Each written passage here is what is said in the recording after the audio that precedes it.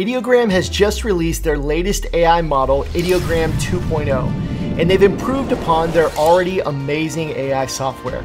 In today's video, I'm gonna show you my five favorite features from Ideogram 2.0. Before I get into the five specific features, I wanna take you over to the landing page from Ideogram that talks about 2.0.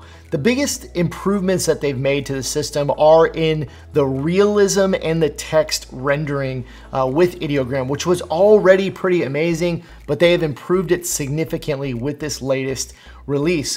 One thing I wanna point out here on the landing page is this section right here because this is what's most important to my audience. They've released a new style when you're creating AI art uh, that's just called design.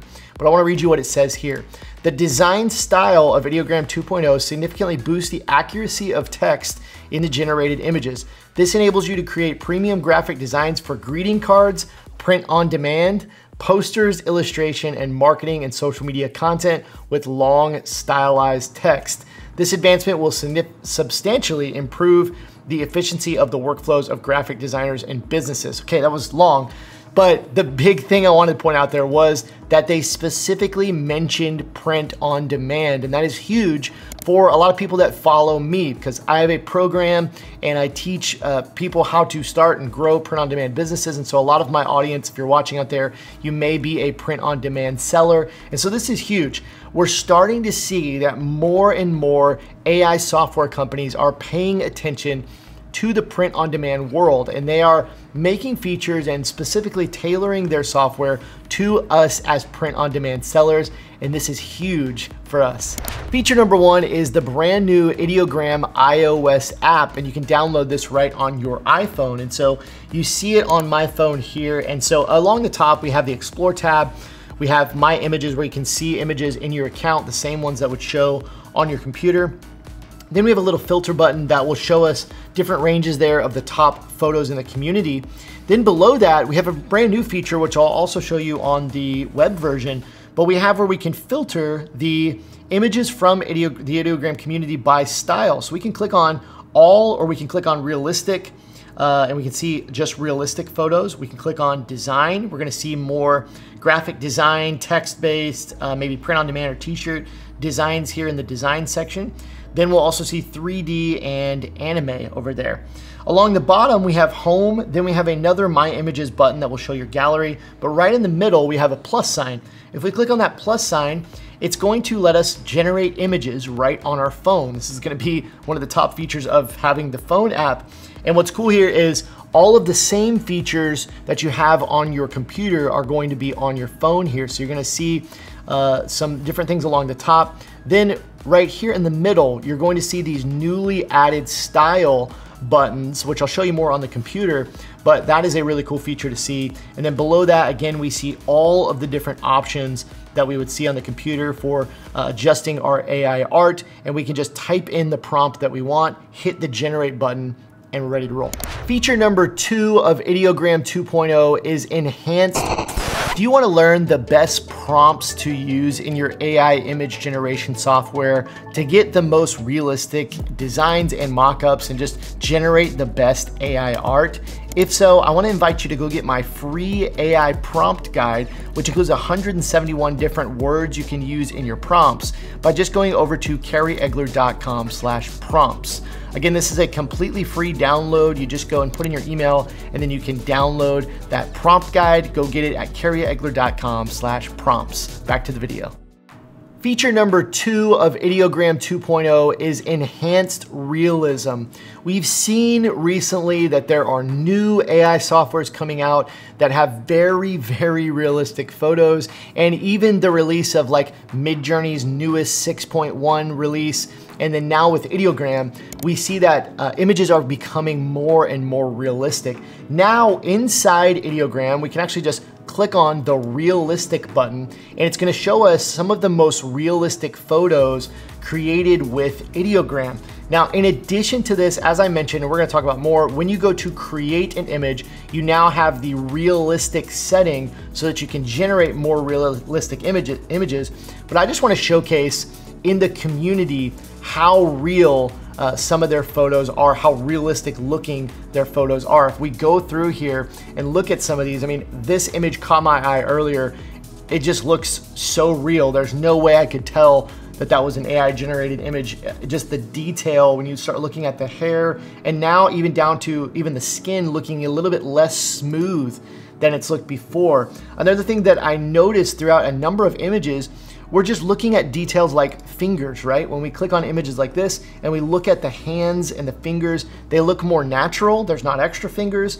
And oftentimes they're not in odd poses as you may have seen uh, with some other uh, AI software. So we can look through here and continue to go and we just see some incredible, incredible images that look just absolutely completely real, right? Feature number three is the style controls within Ideogram 2.0. This is one of my favorite new features.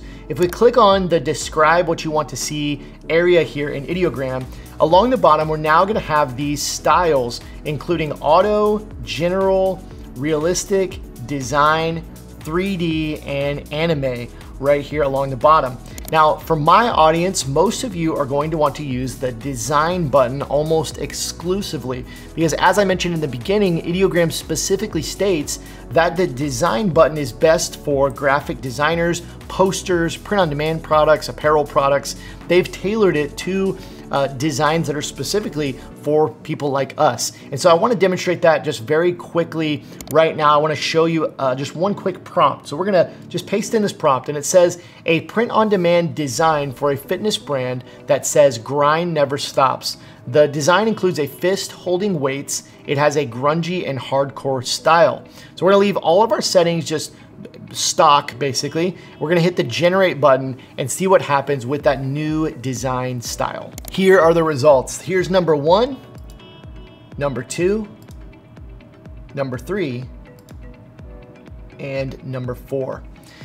So you can see it's very, very good, but some of the things that stand out are the flat background and how this almost looks like a vector style image. It's obviously not a vector. You could probably turn it into a vector, but you can see how it's a flat background. It is a, maybe a little more basic because we're using that design style. And in my opinion, this is absolutely perfect for print on demand and apparel designs. It did a phenomenal job. These are really, really good designs. I love how simple they are. I love that it's got a flat background and I love the composition. I just think it's really good. And you can see how three out of the four uh, did really well with the text. And that leads me into my next uh, feature. Feature number four is maybe the best feature, and it is improved text rendering.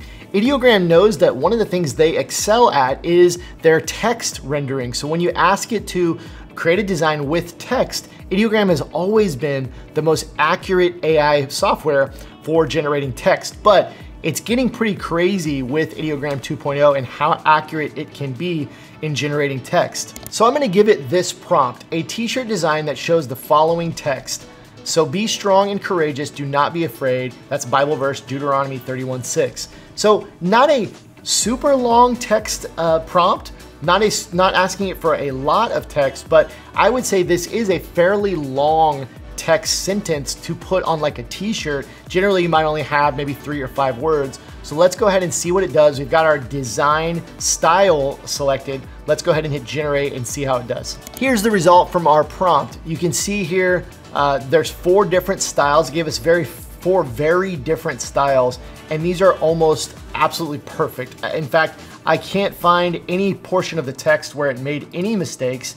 I, I think it came out perfect. I specifically like this one because I love the simple designs that are easy to really convert to like t-shirts and print on demand. But all of these are very usable and they're really, really good. And, and, there's a variety, right? We've got some that have a cross, we've got one with a mountain, we've got one with a lion. These are really, really good designs and you can see how accurate the text is.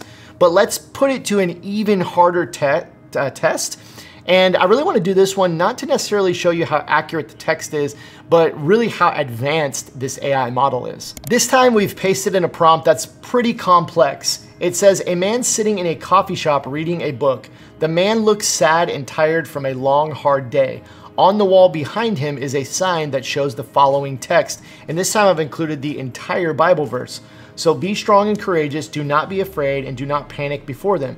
For the Lord your God will personally go ahead of you. He will neither fail you nor abandon you. Deuteronomy 31 6. This time, we're just gonna go with the auto style because we actually just wanna create a regular image, but we are still gonna use 2.0. We're gonna leave everything stock. We're gonna hit generate. So here's what we got. And the point of this was not necessarily to have super accurate text. I was pretty confident that that was gonna be too long to get it exactly accurate, but I wanna show you really just how far this AI software has come. So here are the four uh, generations that we got. Here's the first one. Here's the second one. Here's the third one. And here is the fourth one. Now, previously with pretty much any prior versions of any of the AI softwares out there, you would just get a lot of gibberish when you put in something like this and it would not be able to comprehend the details of the image. So let's break it down just a little bit. We said a man sitting in a coffee shop. We can clearly see that these look like a coffee shop. The man looks sad and tired from a long, hard day. You can see he's looking kind of frustrated. He's looking pretty sad, down, tired, right? And I, I, I, love the composition details of that we said the, the there's a sign on the wall behind him that shows the following text. And in most of these, it actually got a lot of the text pretty much correct. This one was probably my favorite with just a little bit of issues. If you actually read through it, you can pause the video, you know, you'll see that there are some few minor issues, but it got pretty close. Now, if you were to do a design uh, with this long Bible verse on it and excluded some of the other details like the man in the coffee shop and the composition of the photo with the, the sign being on the wall behind him, you would get more accurate text rendering with ideogram, but I thought this was pretty impressive. Feature number five is color palettes. This is also a really cool feature and very useful. So if we open up again our uh, image creation here, I'm gonna select the design style and I've got my prompt put in here. It says a print on demand design for a fitness brand that says grind never stops. This design includes a fist holding weights. It has a grungy and hardcore style. Same prompt we used earlier, but as, as you saw earlier, that was mostly white and black. It just kind of gave us a basic style. So what we can now do is right, right down here, we have a color palette section. If we actually, we can leave it on auto or we can click here and we can select a preset uh, color palette or we can actually create our own. We can do custom down here if you have the appropriate plan to do that. So if I just click on this blue color palette, which is the ultramarine, and now I submit my prompt, we'll see what it gives us. Here are our four generations. Number two, let's try again. Here are our four generations. Number one, number two, number three, number four. And you can see that Ideogram used that color palette with the navies and the royal blues, that kind of selection of blue colors to create our new design. And all these features bring up another question. How good is AI at creating realistic product mockups for t-shirt and print-on-demand businesses? Click here to watch a tutorial of my favorite AI software for creating realistic t-shirt apparel and print-on-demand mockups.